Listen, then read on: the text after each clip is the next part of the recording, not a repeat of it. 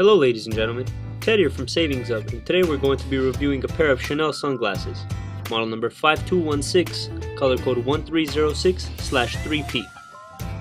These gorgeous sunglasses feature a rose gradient lens color with a transparent red and black frame color that accentuates the Chanel emblem on both arms. The dimensions of this particular pair is 61mm by 16mm by 135mm. If you have any questions at all, don't hesitate to give us a call at 855 4Hub Hub, where one of our sales representatives will be more than happy to assist you. Thank you for your time, and remember to visit savingshub.com, where we save, you save, period.